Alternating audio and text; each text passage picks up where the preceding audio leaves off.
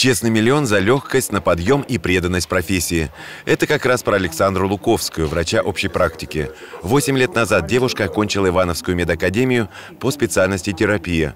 После учебы в ВУЗе с мужем уехала по направлению в Кострому.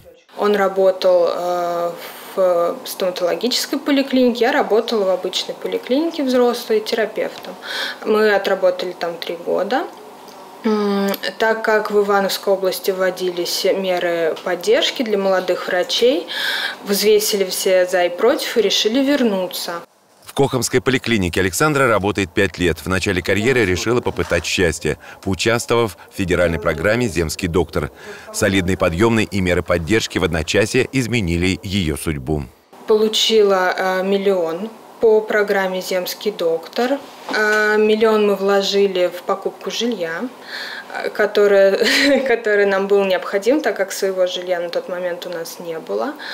А, пять лет уже прошли очень быстро, я отработала этот миллион и с удовольствием продолжаю в поликлинике работать.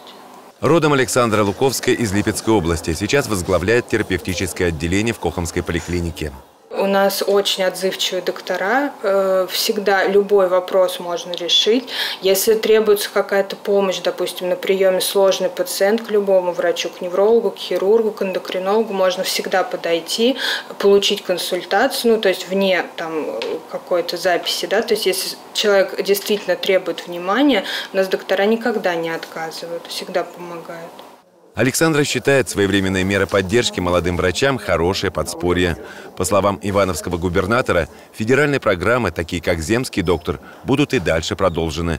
Это подтвердили и в Минздраве. Программы останутся, так что знаете это, пользуйтесь.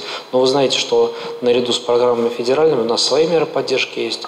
Там, э, может быть, они не такие значительные, учитывая бюджетные возможности. Имею в виду а, прежде всего компенсацию части в первоначального взноса по ипотеке, который мы для врачей предусмотрели. Кадровый дефицит в медицине есть. Проблема системного характера, утверждает глава региона. Однако, что благодаря родителям Александра Луковская стала врачом, ни на секунду не пожалела. Папа очень... Э ну, как-то с уважением отзывался всегда вот о профессии. Когда пришло время выбирать профессию, как-то и вариантов особо, честно говоря, не было. Я сначала хотела на в институт МВД поступать, но что-то меня остановило. Не знаю, не могу сказать. Александра уверена, что федеральные программы, такие как «Земский доктор», помогут решить проблему свободных вакансий, доукомплектовать штат врачей и облегчить нагрузку медиков.